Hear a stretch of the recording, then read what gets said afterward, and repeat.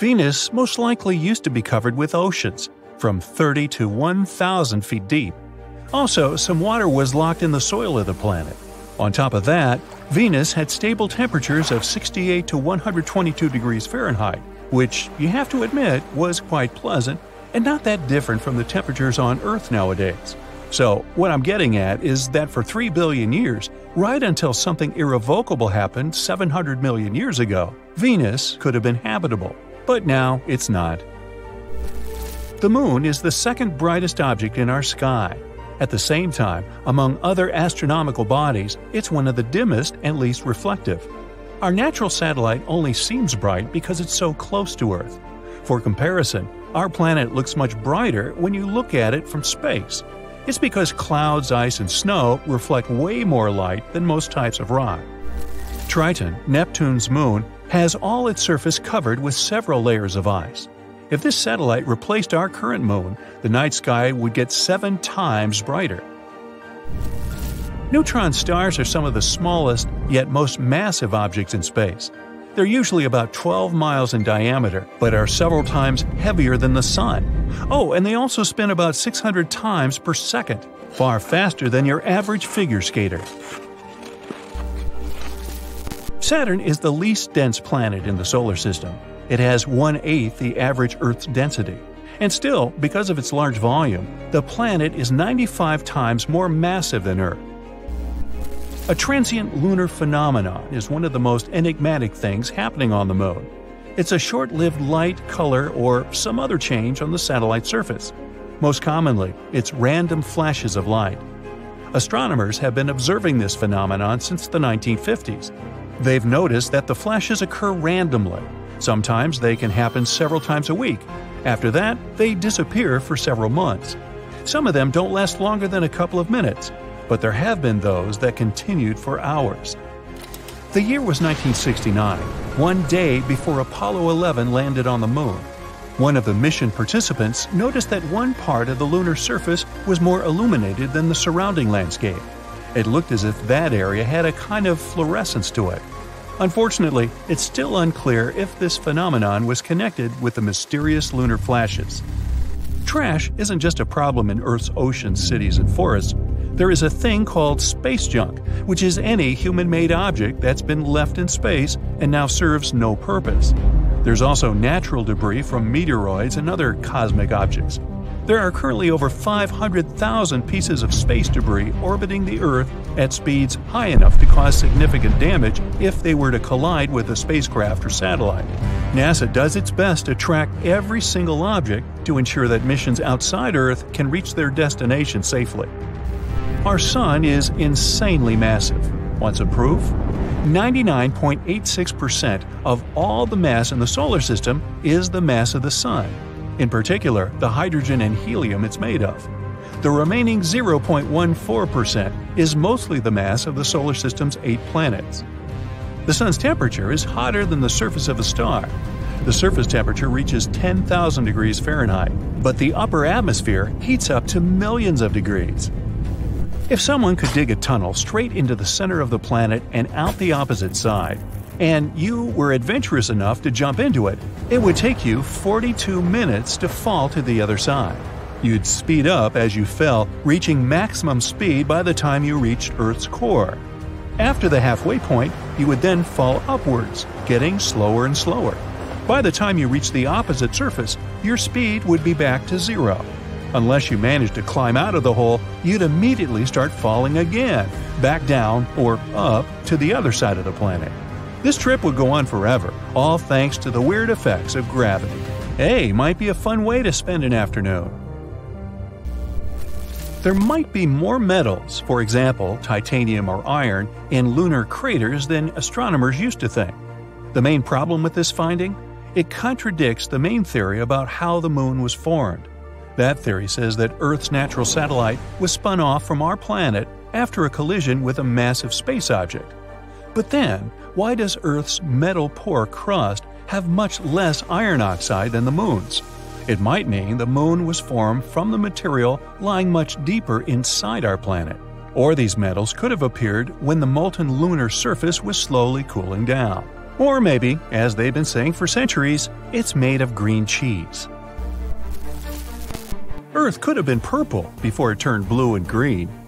One scientist has a theory that a substance existed in ancient microbes before chlorophyll. That thing that makes plants green evolved on Earth. This substance reflected sunlight in red and violet colors, which combined to make purple. If true, the young Earth may have been teeming with strange purple colored critters before all the green stuff appeared. The highest mountain in the solar system is Olympus Mons on Mars. It's three times as high as Mount Everest, the Earth's highest mountain above sea level. If you were standing on top of Olympus Mons, you wouldn't understand you were standing on a mountain. Its slopes would be hidden by the planet's curvature. Astronomers have found a massive reservoir of water in space, the largest ever detected. Too bad it's also the farthest, 12 billion light years away from us. The water vapor cloud holds 140 trillion times as much water as all the Earth's oceans combined. What are we supposed to do with that information? Venus spins at its own unhurried pace. A full rotation takes 243 Earth days, and it takes the planet a bit less than 225 Earth days to go all the way around the Sun. It means a day on Venus is longer than a year. There's very little seismic activity going on inside the Moon. Yet many moonquakes, caused by our planet's gravitational pull, sometimes happen several miles below the surface. After that, tiny cracks and fissures appear in the satellite surface, and gases escape through them. Hey, they sometimes escape from me, too. Now, Mars is the last of the inner planets, which are also called terrestrial since they're made up of rocks and metals. The red planet has a core made mostly of iron, nickel, and sulfur is between 900 and 1200 miles across. The core doesn't move. That's why Mars lacks a planet wide magnetic field. The weak magnetic field it has is just 1 100th percent of the Earth's. When the planets in the solar system were just starting to form, Earth didn't have a moon for the longest time. It took 100 million years for our natural satellite to appear. There are several theories as to how the moon came into existence, but the prevailing one is the fission theory. Somebody went fishing and caught the moon? Actually, no. The fission theory proposes that the moon was formed when an object collided with Earth, sending particles flying about. Gravity pulled the particles together, and the moon was created. It eventually settled down on the Earth's ecliptic plane, which is the path that the moon orbits. So, looks like the green cheese is off the table now. The largest single living thing on Earth turns out to be a mushroom in Oregon. This enormous honey mushroom lives in Malheur National Forest and covers an area of 3.7 square miles. It could be as much as 8,500 years old. You could be forgiven for missing it, though, since most of it's hidden underground.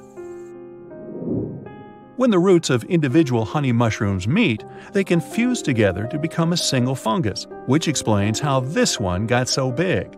If you could gather all that mushrooming stuff into one big ball, it could weigh as much as 35,000 tons.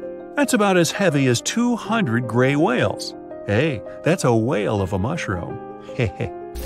The largest asteroid in the solar system is called Vesta, and it's so big that it's sometimes even called a dwarf planet. A trip to the nearest star, apart from the Sun, would take you 5 million years on a commercial airplane. That's what I call a long haul flight. Space isn't supposed to be black, there are stars everywhere. Shouldn't they light up everything around? Well, you don't see stars wherever you look because some of them haven't existed long enough for their light to reach Earth.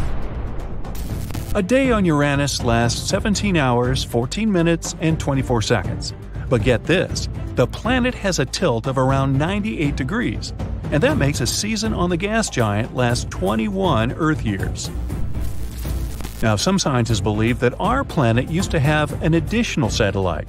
According to their research, a small celestial body, about 750 miles wide, orbited Earth like a second moon. It most likely crashed into our main satellite later on. Such a collision could explain why the two sides of the moon look so different from each other, one being heavily cratered and rough. Or it could be the green cheese.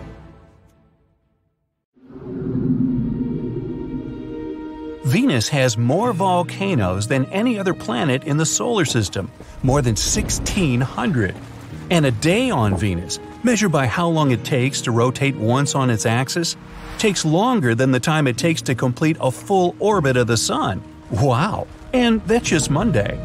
An extreme greenhouse effect warms the planet's surface up to 870 degrees Fahrenheit, hot enough to melt lead. Winds there reach the speed of 450 miles per hour in the middle cloud layer, faster than the speediest tornadoes on our planet. The pressure on Venus's surface is 90 times higher than that at sea level on Earth. What a great place for a vacation, huh? And recently, this incredible place has become even more intriguing. In the toxic Venusian atmosphere, there's something that might mean the existence of life. Unfortunately, scientists haven't had a chance to collect any microbe specimens or snap any pictures of life there. But they've discovered a chemical called phosphine, and it's a big deal. If it's not some previously unknown chemistry that produces the gas, then there must be a kind of microbial life involved in the process. Phosphine is made up of three atoms of hydrogen and one atom of phosphorus. This gas is toxic to any normal life form that needs oxygen, including us humans. On our planet, phosphine can be found in places with no or little oxygen, for example, marshes and swamps. The gas is created by complex mixtures of bacteria living there. It can also be produced industrially. The weirdest thing is that phosphine isn't supposed to be in Venus's atmosphere at all. This gas needs precise pressure and temperature and tons of hydrogen to form. It wouldn't be all that surprising to find it on Saturn or Jupiter, the famous gas giants, but on Venus? Totally unexpected. There's no way phosphine can be produced naturally on this planet. Tiny amounts of it can be created during volcanic eruptions, lightning storms, minerals blown up to the surface, or meteorites entering Venus's atmosphere. But it's not nearly enough to explain what the astronomers have observed. It would only make one ten thousandth of the phosphine the telescope saw. But let's start from the very beginning. In 2017, a group of scientists led by Jane Greaves from Cardiff University started to use the James Clerk Maxwell Radio Telescope in Hawaii. That's a mouthful. The main idea was to search for phosphine gas. It would be a sign of life on Venus. When the data came back and the researchers analyzed it, they were shocked. The phosphine signal was powerful. The team checked the results several times. They wanted to make sure no other substance mimicked the presence of phosphine gas. So now, does it mean there's life on Venus? Well, not necessarily. If this gas is created by some mysterious organisms, it's a big question how they survive on Venus. On our planet, some microbes can thrive in the environments with the acidity of 5%, but no more. On Venus, though, clouds are almost entirely made of acid. And even though they have a rather pleasant temperature of 86 degrees Fahrenheit, these clouds contain more than 90% of sulfuric acid. DNA, amino acids, proteins, life components on Earth would be dissolved there in the blink of an eye. The surface of the planet is too hot for any kind of complex molecules to make up life. The Venusian atmosphere is almost 50 times as dry as the driest place on our home planet. There's a theory that microbes might hide in scarce water droplets floating in the atmosphere, but it hasn't been proved yet. Right now, the research team's waiting for more telescope time. They're going to look for other gases associated with life. But even if they find more evidence, life forms on Venus will be made up of building blocks absolutely different than those on Earth. Or they might be protected by a sulfuric acid resistant shell. It can be made of such substances as sulfur, wax, graphite, or something else we can't imagine. Of course, some experts question the idea of life on Venus. They think the gas might be produced during some geologic or atmospheric processes happening on the planet. But the supporters of both theories agree on one thing the discovery is extraordinary. Interestingly, astronomers have always tried to find signs of life on giant planets' icy moons, or even closer, on Mars. But they've never seriously considered Venus. If additional telescope observations and future space missions confirm that phosphine is produced by living organisms, we can be in for a bunch of exciting surprises. Then people would know of a planet with an alien biosphere, well, alien to us, and this planet would be just next door to Earth. Now, speaking of visiting Venus, though, would it be possible for people to land on this planet? After all, robots are already tooling around the red planet surface. On the pro side, Venus is closer to Earth than Mars, but it also has much harsher conditions. The planet is hotter than Mercury, even though Venus is almost double the distance from the Sun. The temperatures are higher than the melting point of many metals, and some of them, like lead or bismuth, can fall as snow on the highest mountain peaks. If you set foot on the planet, you'll find nothing but barren rock. Giant basaltic plains are littered with volcanoes and mountains. In some places, the surface melts because of the heat underneath. After it releases some of it, the rock solidifies again. If people ever go to this planet, they will most likely build floating cities in the clouds of Venus's atmosphere. At about 31 miles above the surface, the conditions, like the pressure and gravity, are similar to those on Earth. The temperature is rather manageable too, at around 167 degrees Fahrenheit. Think Death Valley, California on a really hot day. The atmospheric pressure is half of what we have at sea level on our planet. If you went outside, you'd be fine without a pressure suit. The pressure you'd feel would be the same as at the top of Mount Kilimanjaro. Plus, this colony would be protected from the sun's radiation better than one on Mars. If the atmosphere was the mission's final destination, landing a spacecraft, or rather making it hover in the air, would look very different. The idea is to use an airship in the upper atmosphere for long periods of time. The airship, wrapped in an aeroshell, would enter the planet's atmosphere at a speed of 24,000 feet per second. In the next 7 minutes, its speed would drop to around 1,500 feet per second. After that, a huge parachute would open. It would slow the spacecraft down even more, and then things would get a bit hectic. The aeroshell, not needed anymore, would drop away. The airship would then inflate itself, all the while hurtling through the atmosphere toward the planet's surface. Its speed would be at least 330 feet per second. It would get larger and larger, and its drag and lift would increase. Soon, the parachute wouldn't be needed anymore. The crew would get rid of it, and the airship would fill with air completely. If everything went as planned, it would stop 30 miles above Venus's surface. After that, the airship would travel around the planet. It would be moved by the wind, which can reach a speed of 220 miles per hour at the top of the cloud layer. If you decided to move closer to the surface, though, you'd have to be extremely careful. The wind in the middle layer can get twice faster. The airship could be filled with a breathable mixture of hydrogen and oxygen gases. Such a combination would be less dense than the Venusian atmosphere. It would provide the needed buoyancy, you know, to stay up there. Venus is famous for its super dense clouds. These clouds make the planet shine bright enough to be seen from Earth. Venus reflects more than 75% of the light that comes from the Sun. This reflective cloud layer exists thanks to a haze of sulfuric acid droplets in the atmosphere, and they gather exactly at the height where the airship would float. Luckily, people already have a method to overcome the problem of acidity. A few materials, for example Teflon and some types of plastic, have an amazing acidic resistance. They could protect the outsides of the ship, so, let's say you needed to work on a platform outside. Then you'd be able to do it, wearing only a chemical hazard suit and carrying necessary oxygen supply. Ooh, sounds like fun, huh? Yeah, me neither.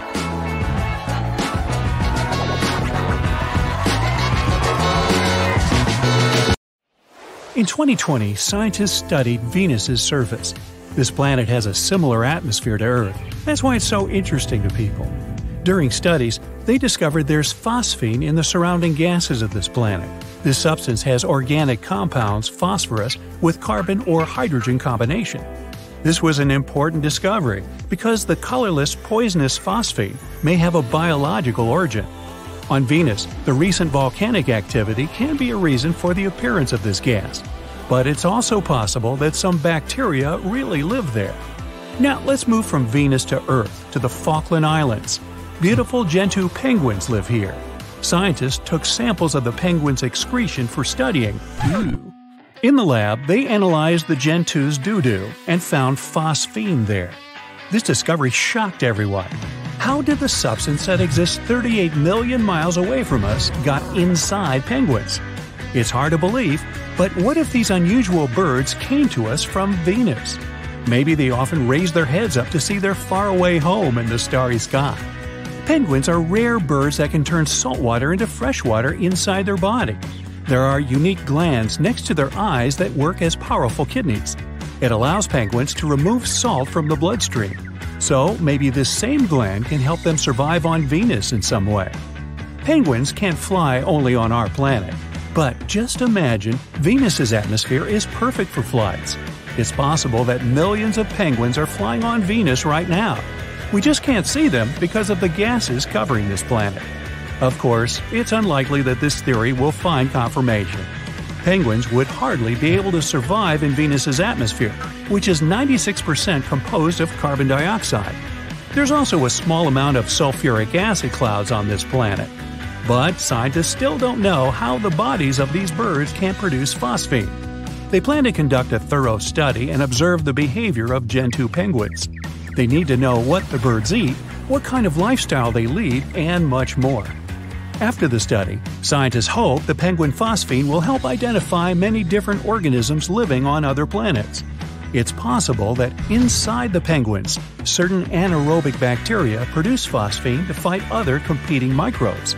Traces of phosphine can also be found in pond slime on our planet. In the future, scientists are going to send several probes to Venus to explore the planet's atmosphere and find the source of phosphine. There's another animal that may be from another planet. No, not me. This time, it lives in seas and oceans. In 2018, a scientific article was published where a group of researchers stated octopuses were not born on Earth. And this is not a metaphor. They literally called them creatures from outer space. And in fact, there are several reasons to think so. One of the hypotheses says that viruses from other worlds fell into the Earth's ocean and infected squid with shellfish, and forced them to evolve into octopuses. Another theory says the octopus's eggs were brought to our planet on a meteorite. All these versions appeared because of how unique the octopus is. These sea creatures are closely related to snails, mollusks, and squids, but octopuses are much smarter. They are the smartest invertebrates on the planet. Their intellectual abilities are also superior to many mammals, including some guys I went to school with. They have one of the most complex nervous systems of all living organisms. Octopuses have a central brain in their body, and their tentacles are endowed with a neural connection that allows them to think separately from the central mind. Their vision is developed in such a way that their eyes can be compared to the lens of an expensive video camera. They can change color and shape, disguise themselves with a combination of color pigment, nerves, and muscles. But the coolest thing is their intelligence. They can relax and do nothing, be lazy, and have fun. No other creature on the planet has such an unusual appearance and behavior. But the main reason to consider them as aliens from outer space is their history of evolution.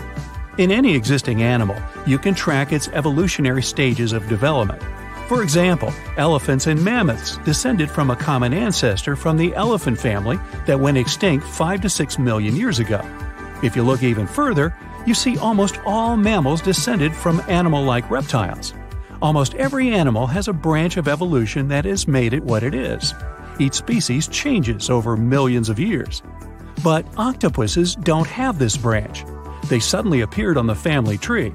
From the point of view of evolution, squid should evolve into octopuses in millions of years. But scientists can't track the evolution of octopuses with all their intelligence, their tentacles, and their ability to disguise themselves. The octopus genome is unlike any other genome on the planet. If the outer space origin of octopuses turns out to be real, it could confirm the theory opposite to Darwin's evolution. According to this theory, living organisms or their embryos were brought to Earth from outside on meteorites. But for now, there's no evidence to support this theory. Some scientists believe that octopuses separated from the squid line about 135 million years ago. But this theory hasn't been proven either. But if octopuses came to us from outer space, how is it possible that living organisms survived an interstellar voyage? In fact, this is not impossible. There are creatures on Earth that can survive in space, and these are tardigrades or water bears. These are microscopic eight legged invertebrates close to arthropods. You need a microscope to see them, but even a cheap one will let you see them in detail. From the outside, they look somewhat like bears. They are called water bears because they require a thin layer of water around the body to prevent dehydration. These creatures have been found in all kinds of environments, from the depths of the ocean to hot sand dunes. They are incredibly tenacious thanks to their unique structure. They look soft, but their body is covered with a hard cuticle. This covering resembles the exoskeleton of grasshoppers, mantises, and many other insects. Water bears shed the old cuticle layer to grow. Each of their eight legs has four to six claws, which helps them cling to any surface. The tardigrades manage to survive at a temperature of minus 328 degrees Fahrenheit. This is almost three times colder than in icy Antarctica. Hot conditions aren't a problem for them either. They have survived a temperature of 300 degrees Fahrenheit. This means they exist in boiling water. Water bears aren't afraid of radiation or high pressure. In the depths of the ocean, pressure can destroy alloys of strong metals.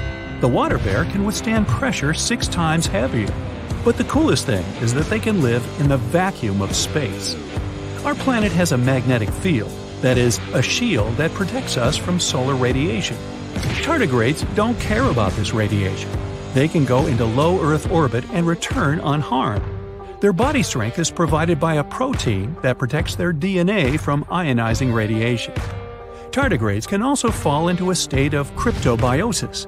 If the surrounding conditions suggest freezing, drying out, lack of oxygen, or an overabundance of salt, the tardigrade pulls its head and legs inside the body and falls asleep. It can stay in the form of an unmoving barrel until the conditions around it improve. This state of cryptobiosis allows them to live without water and food for decades. In 2016, scientists managed to revive two tardigrades that had been sleeping for more than 30 years. These creatures have survived five global catastrophes on Earth. They appeared about 5 billion years ago, and it's possible they'll live just as long. They aren't afraid of any apocalypses. Asteroids hit our planet, a supernova explodes nearby, and its radiation splashes out on Earth. A global heat or ice storm starts. People and most living creatures may not survive these events, but the water bears can.